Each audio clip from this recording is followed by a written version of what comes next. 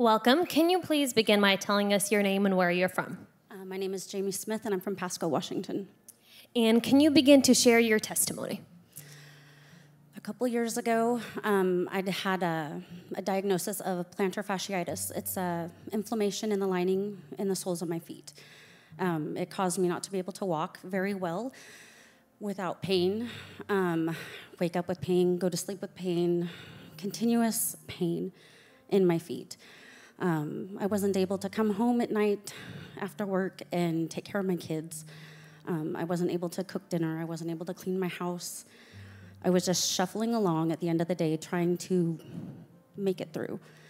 Um, and then a couple weeks ago, we had um, a prayer line, and Pastor Vlad came through and he um, said, We were going to pray for everybody. Well, I wasn't part of the prayer line, I was just part of the everybody. And so he says he's going to spray the anointing water. Um, and I'm like, okay, well, he's going to do this, and I'm going to believe this. And all of a sudden, there was no pain. There was just no pain. Guys, let's put our hands together. Um, this is, it's still kind of like, you know, like when you have hiccups. and then you finally get rid of the hiccups, and then you're kind of a little nervous, like, okay, when are the hiccups coming back? It's gone. It's gone. I've had two weeks. I actually shocked my grandson the other day because I said, Don't you do that. And he did it. And I got up really quick and he was like, Whoa, grandma got up.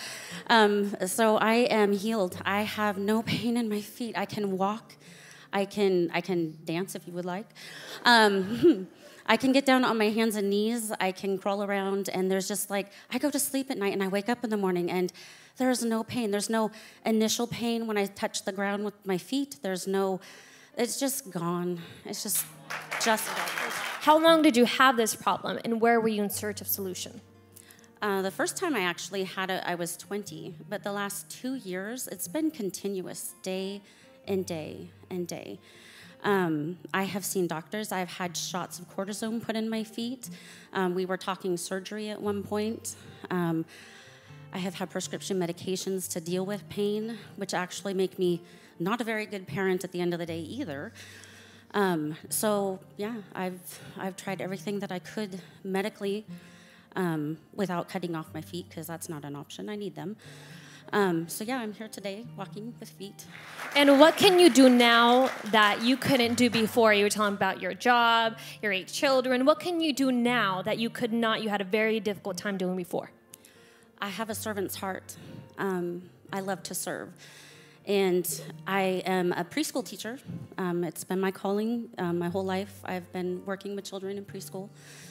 Um, and I have to get down on the ground a lot. I have to be able to, to walk and move. And I have to be able to, to be silly and to be happy. And when you have a chronic pain and you have to put that smile on, it's really hard sometimes. And I was able to um, to get by, but now I can come and I can serve. I can come on Wednesday night and I know I can be in children's ministry and that I'm going to be able to be active with the kids. I'm not just going to have to sit there and hope that I don't look like I'm in pain. Um, I can stand up on Wednesday evening services and I'm not going to be up here being like, oh, it hurts. I'm going to be like, thank you, Jesus. And so, last question. What is your word of advice for us? keep pressing in and don't give up. Um, I I had a mentality where I was like, why me? Why me? Why God? Why do I have to have this pain? Why haven't you taken it from me? And something clicked, something shifted. Um, and that Sunday, it was like, why not me? Why can't I have this healing? I can have this healing. I, this is my healing. It's mine. It's now. And a couple times since then, you know, the enemy has tried to take me down and I've just declared, just just openly declared. I've just said it. My kids look at me kind of like, okay, mom. But it's just, it's me, it's mine, it's my healing. Lord gave it to me. Holy Spirit is here with me. It's it's done. You guys, let's give another round of applause for Jesus Christ. We thank God for your testimony, and we encourage you to make God's word a standard for your life and that your healing will be permanent. Thank you so much for sharing your testimony.